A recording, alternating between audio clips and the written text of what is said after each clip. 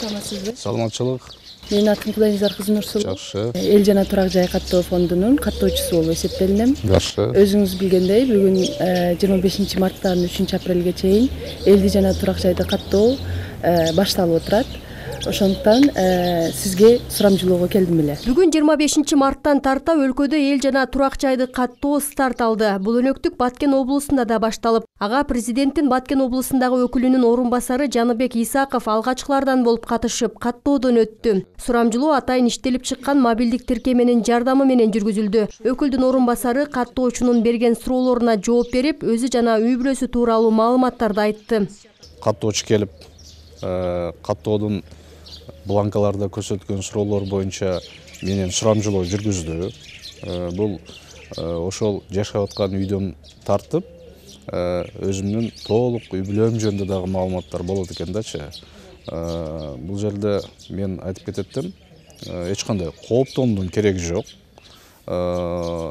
Бул ар бир үй бүлөнүн өзү жөнүндө анын чарбасы жөнүндө маалыматтар бул купуя болот. Кээ бир адамдар ушундай кооптонуу болуп калышы мүмкүн. Эч кандай негиз жок да кооптонушкачы өнөктүктүн жүрүшүндө буга чейин атайын окутуудан өтүп эл каттоого тартылган кызматкерлер ар бир үйдү кыдырып уюлдук телефон аркылуу элди каттайт. Баткен районунун кырк жети айылында каттоо жүргүзүү үчүн төрт жүзгө жакын каттоочу убактылуу жумушка тартылган. Бул күнү район башчысы учкунбек жоробаев да үй бүлөсү менен каттоодон өттү. Каттоодо эч кандай кыйынчылык жок.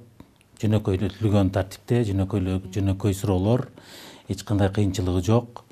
Бул каттоо боюнча биздин баткен району аймагында уюштуруу иштери толук кандуу жүргүзүлгөн. Биз каттоого даярбыз. Биздин район аймагында төрт жүзгө жакын каттоочулар окуулардан өтүп даярдыктан өткөн. Жалпы баткен районунун тургундарын ушул каттоо өнөктүгүнө дагы бир жолу чакырып кетем активдүү катышсындар.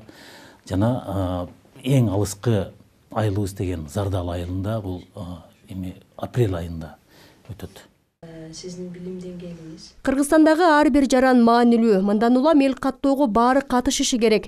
Каттоо учурунда өздүгүн тастыктаган жана башка документтер суралбайт. Үйдө жашаган жарандардын санына жараша суроолор берилет. Ошондой эле турак үй андагы түзүлгөн шарт боюнча маалыматтар керектелет. Биздин милдетибиз ар бир жаранды анын турак жайын каттоо ар бир үйгө барабыз. Эч кандай бул коркунуч нерсеси жок. Киребиз дагы ошол адам үйүнө киргизсе үйүндө сурамжылайбыз. Ал эми сыртта болсо сыртта сурамжылайбыз.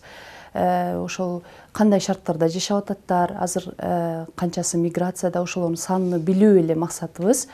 Он сегиз жаштан ашкан адам болсо жооп бере берет. Жооп бере ала турган болсо ошолордун атынан. Ар бир өзү болсо дагы болот анан болбосо ошо бир адам баардыгынын ордуна жооп берет.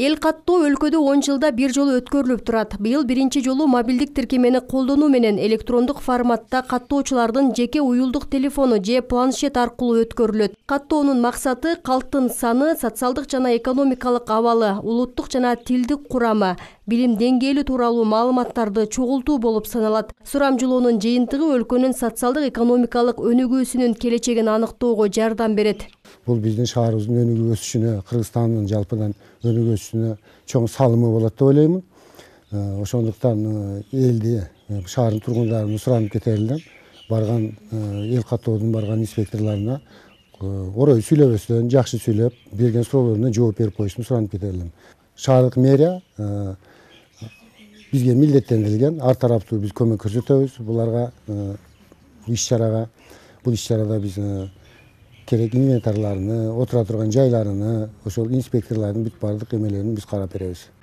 каттоого кыргыз республикасынын баардык жараны чет өлкөлүк жарандар жана жарандыгы жок адамдар. Ошондой эле чет өлкөлөрдө бир жылдан ашпаган мөөнөт жашаган кыргыз республикасынын жарандары катыша алат. Ооруканада санаторияда атайын жатаканаларда балдар үйүндө же болбосо убактылуу жамааттык жайларда жашаган жарандар өзүнчө катталат. Учурда ооруканада дарыланып жаткан абдрахман мамытов үч дөбө айылынын тургуну. Ал ооруканадагыларды өзүнчө каттап жатканы маанилүү деп эсептейт. Элдин адамдар точно эсебин алыш керек да мына ошого жакшы болду да бул болбосо бул жерде өзү калып кетет элек үйде каттатып коет больницада деп коет жазабын жазбай калып кетет жакшы суроо болду жакшы эле мага ушул баткен облустук биргелешкен ооруканасынын баардык бөлүмдөрүндө бүгүнкү күнгө дарыланып жаткан бейтаптарды каттоо бөлүндү бул жамааттык жайда жашоочулар болуп номер бешинчи форма гана толтурулат буларга. Анткени булардын эгер үйдө булар үчүн жооп бере турган бейтаптар үчүн жооп бере турган үйдө башка туугандары болсо алар үйдөн айта берет ошол үйүнү каттаган каттоочуларга эске салсак кыргызстанда элди жана турак жай фондун каттоо жыйырма бешинчи марттан үчүнчү апрелге чейин уланат. Алыскы аймактарда каттоо жыйырма үчүнчү апрелден экинчи майга чейин жүргүзүлөт. Эл каттоого өлкө боюнча жыйырма сегиз миң убактылуу координаторлор инструктор көзөмөлдөөчүлөр жана эл каттоочулар тартылган. Эл каттоонун жыйынтыктарын даярдоо өткөрүү жана жарыялоо жоопкерчилиги кыргыз республикасынын улуттук статистика комитетине жүктөлгөн. Баткен району баткен шаары боюнча алты жүзгө жакын персоналдар каттоого тартылды.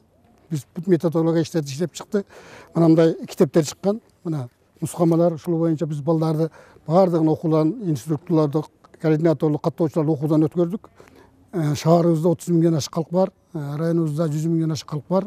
Ушунун баардыгын бизде эми бизди каттоочулардан сурап бир үй бир адам калбаш керек биздин статистика комитеттин негизи да ошондой ар бир адам маанилүү деген девиздин астында иштеп атабыз. Кудай кааласа баардыгын мыйзам чегинде каттоого аракет кылабыз.